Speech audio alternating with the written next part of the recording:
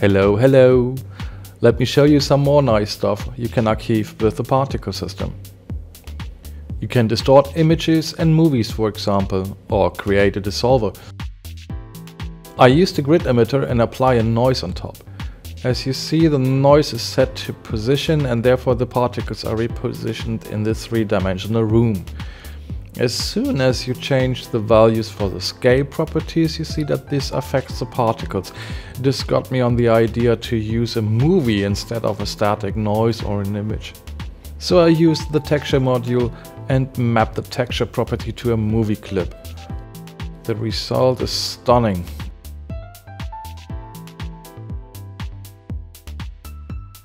Including shadow and so on, amazing. So again, just create a grid for example, add a texture module,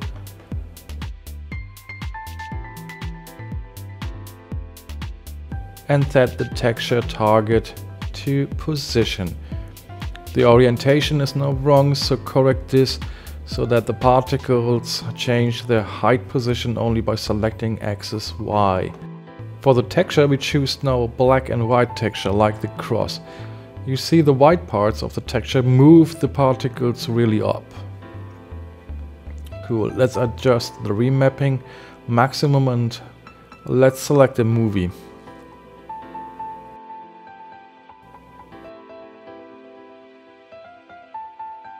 Okay, once again, select the texture module, but this time set the output to the AUX1, which is just an auxiliary channel and can be freely assigned. Change the image to a texture property and bind the movie to it.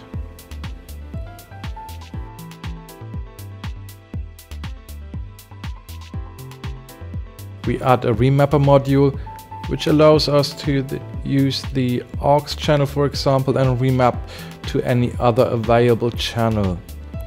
And this is where the real fun begins. We select the remapper and change the source to be the aux1 and the target is already set to colon alpha. Nothing big you say, right, at the first look it's nothing special. You can adjust the min-max values. Okay, nice.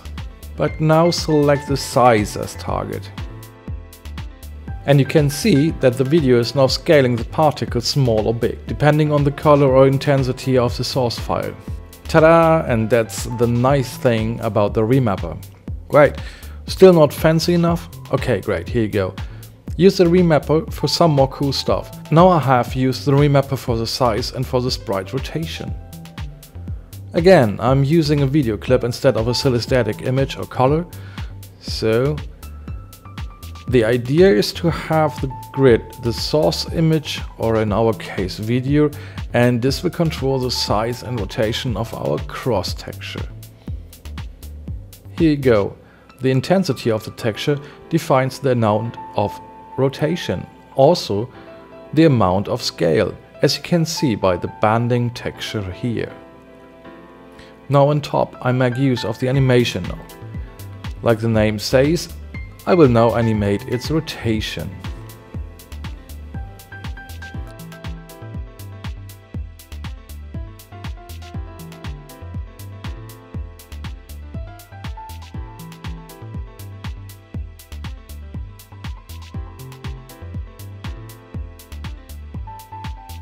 So I changed these values here and the result is only when we have higher intensity or something more than black, it will increase the amount value and therefore the sprite will become bigger and rotate faster.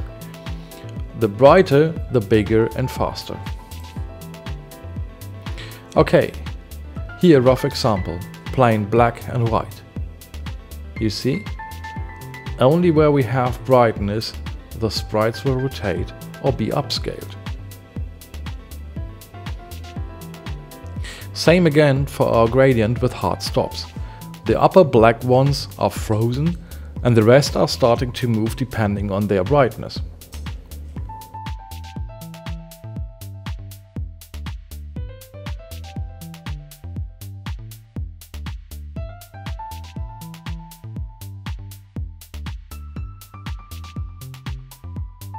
Still not enough?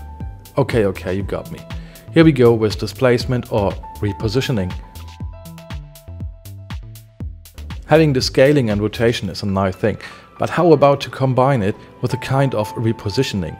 We add another remapper and set it to source amount and target position Y operation add.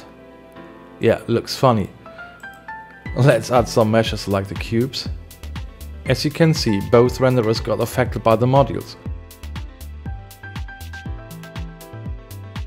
Now let's add a gradient. This would change the color of the rendered elements, not by size or rotation. This would change the color for the height or position of them. The more height, the more green they will be. So these things are just for your inspiration. I hope you like the small series about the particle system. Enjoy and be creative. Thanks for watching.